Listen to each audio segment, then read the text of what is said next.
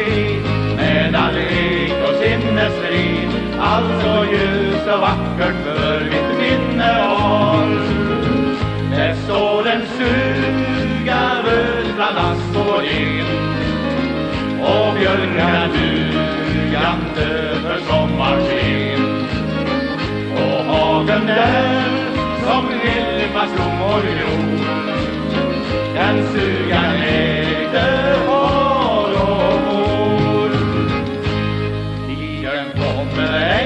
igen, minnet lever kära vän av den ljuva barndomstid vid hemmet när.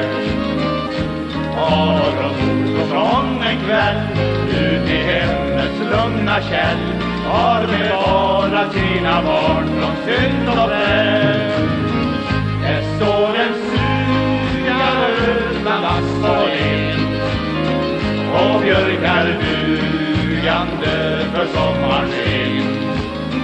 Och hagen där som Vilmas och gror den stugan ägde far och mor.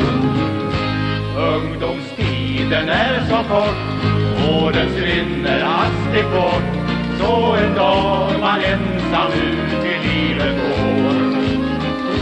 Kanske från ett fjärran land, tankar skyer sig ibland. Då kan hända ögat fruktas av en hål Där solen en stuga röd bland och och björkar dugande för sommarsken.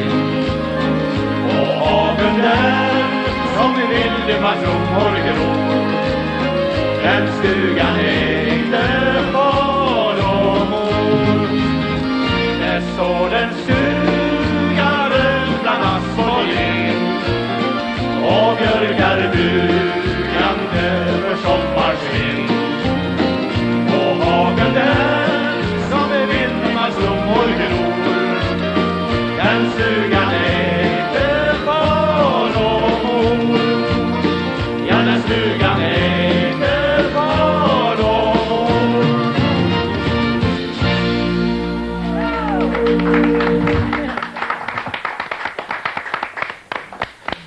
Tack så mycket bröderna Djup och varsågoda och kom och sätt er här. Äntligen är ni ute i det fria igen.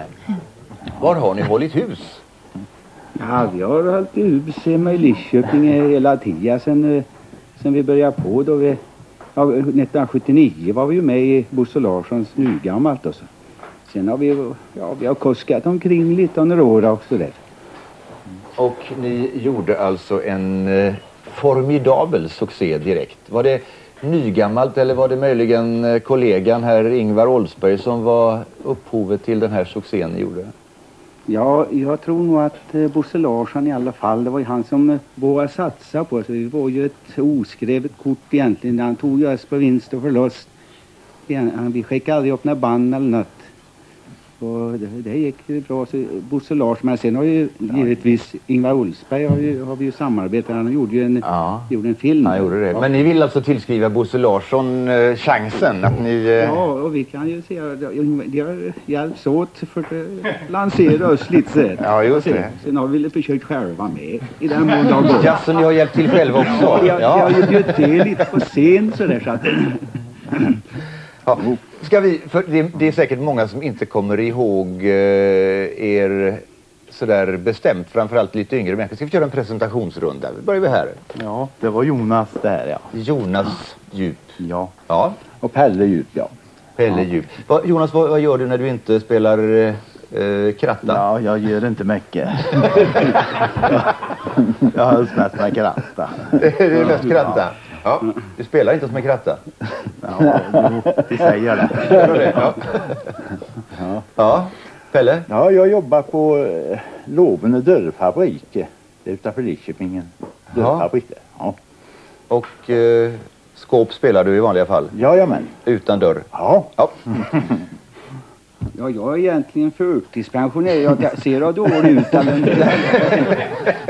Hur har detta gått till? Ja, det är ju ont om arbete och så där vidare. Och jag jobbade halvtid bara förut och då tänkte jag att det är så jag slutar. Då kunde någon utav yngre pojkar få stanna kvar i mitt ställe. Då var det bättre jag som var gammal Jag har ju i alla fall jobbat och börjat när jag var 14 år till när 60 år så är det inte så dåligt ändå. Nej, och framförallt har du ju en ny karriär eller en eh, pånyttfödd karriär som du kan göra dig rik på. Så varför ska du ta jobben från andra? Nej visst, det är ju dumheter.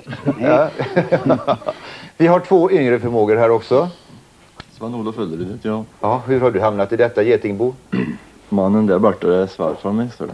Ja, ah, jag förstår. Och Utböling. utböling. Jajamän. Är du inte från Slätta? Jo då.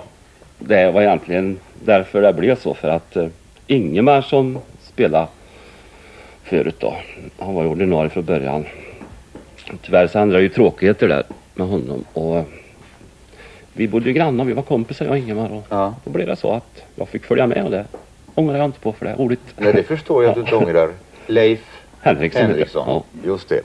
Hade ni kunnat ana att detta skulle bli en sån gigantisk succé som det blev när ni, när ni eh, åkte upp till Bosse Larsson?